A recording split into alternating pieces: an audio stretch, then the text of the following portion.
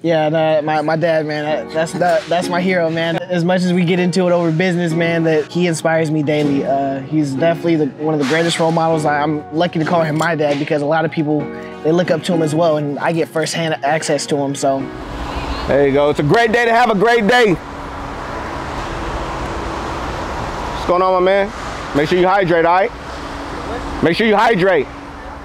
It's always I always embrace a new chapter and a new beginning, but having um, the team that I had there, it's it was just special. It's hard to really explain what we had, but we were all like a brotherhood. We have dispatchers that, that came with us. I have another dispatcher who's flying out tonight just to help us. So I mean, that's like that speaks to like the camaraderie and brotherhood that we really had. We just had a lot of fun together. We won a lot of awards together. We took a lot of losses together. You know, we did a lot of we did a lot of cool stuff together. What's going on, man? Good morning.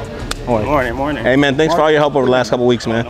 Thank you. So I'm Mexican American. I'm first generation. My dad actually came here on a semi truck and, you know, has been working ever since. So to be in transportation with, you know, it kind of is a full circle moment for me personally, right? I have an immigrant father that came to this country looking for opportunities on, on a truck. And then here I am years later, aligned with the biggest supply chain company. It's just, it's, you know, it's beautiful, right?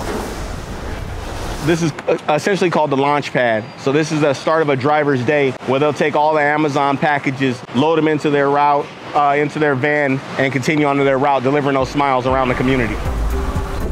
One of the benefits of being a, an employer is my prior business, I had probably six people who reported to me. In this opportunity, I provided last peak, we had over 280 drivers who worked for Prolific Logistics and be able to give them jobs with benefits, uh, 401k, offering them flexible schedules has been such a warming experience for me as an owner and actually giving me an opportunity I didn't really think that was possible because I always wondered how am I going to build a business big enough to have that many employees and this opportunity was one that afforded it to me.